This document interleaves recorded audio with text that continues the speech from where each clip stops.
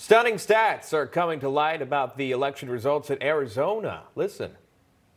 Tells us is that this demographic distribution of allocation of uh, uh, party party affiliations is what can generate this, and I find it highly implausible because this means that Mr. Biden got 130 percent of Democrat voters and negative 30 percent, and and uh, President Trump uh, got negative 30%. So if Biden got 100 votes and his went up by 1.3, which means it took 30% of the votes uh, were reduced that would go to President Trump.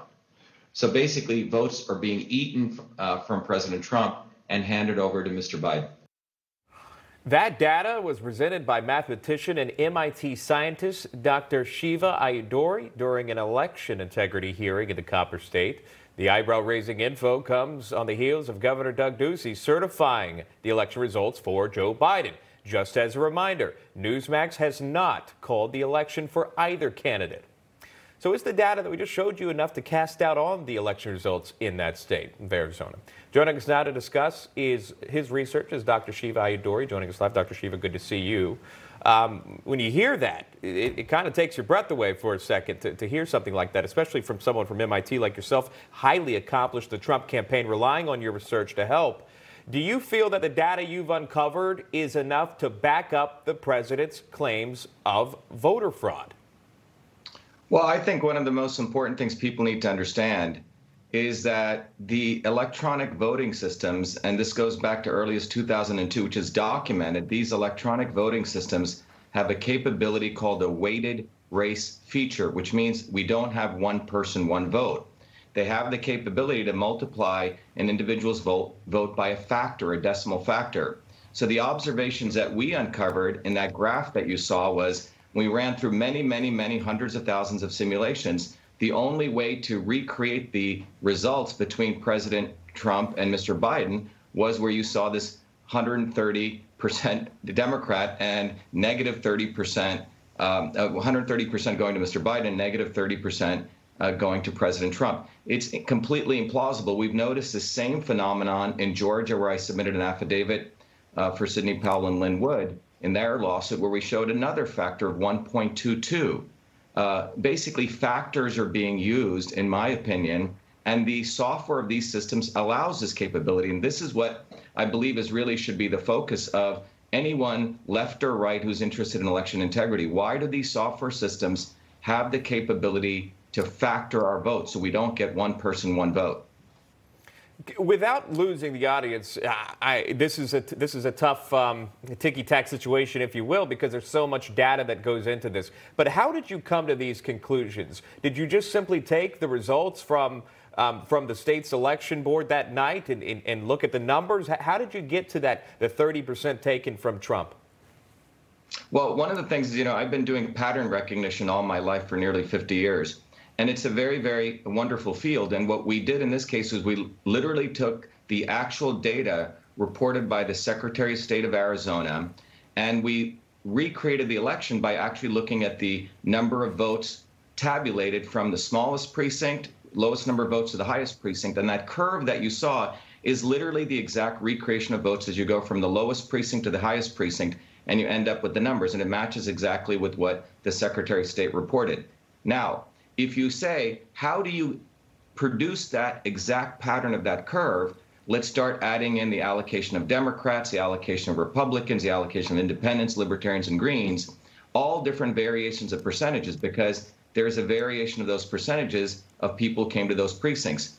And the only way we were able to fit that curve perfectly was when we came to 130% Democrats and negative 30% uh, 130% Democrats for Mr. Biden, negative 30% for uh, for Mr. Uh, for President Trump, which is not only implausible, but it points to the fact there's two ways this could have occurred. One is that we missed in our analysis some set of independents, or that one for every one vote Mr. Biden got, he actually got 1.3 votes, and 30% of votes were eaten by uh, from President Trump and given to Biden. That's the only plausible explanation. And remember, uh, the curves fit so beautifully. I've never seen anything like this in the many, many decades that I've done this kind of research where you get such a perfect fit, which means that this percentage of allocation of Democrats, Republicans, Independents is the only way that we could fit that. And those numbers are highly, highly implausible unless we've missed something.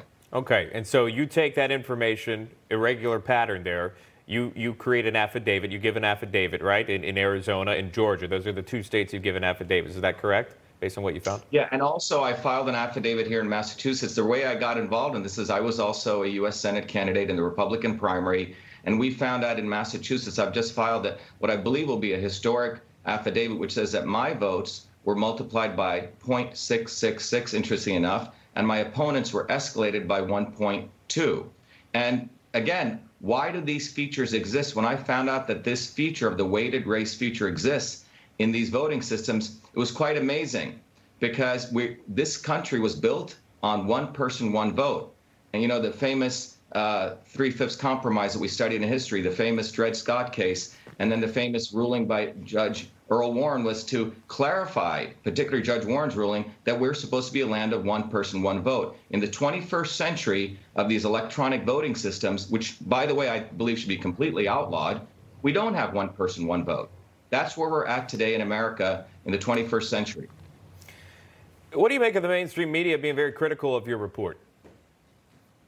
Well, they're welcome to call me. Everything is transparent. You know, uh, have them call me. None of them have contacted me. This is basically mathematics. I've made it clear that if we've missed anything, we'll put that into our formulation. So we're very transparent here. Yeah. Unfortunately, the mainstream media, I believe, uh, is in collusion with the powers that be. You just saw Attorney General Barr, who should be taking this up. You know, the, the basic USC codes 20701 and 20702 are being violated because these secretaries of state are destroying ballot images, which are the evidence that would show that this weighted race feature was on. So they're concealing the fact by turning on features which destroy ballot images, which are the evidence that links the weighted race feature, if it's on, to uh, you know the, the, actual ballots cast. So I find it quite incredible that the federal the the Department of Justice is not enforcing a very fundamental law, which is the secretaries of state and the state election directors should be saving the ballot images, and they destroy them, which means that you don't have the chain of custody to show that the weighted race feature was turned on. So it's quite a clever mechanism, unfortunately, if what I'm saying is true, uh, for what's taking place at the state level. Well, we appreciate your work, sir, and I appreciate you coming on the show just to simply share this with us. Uh, that is Dr. Shiva Ayyadurai. Thank you for your time. Thank you. Be well.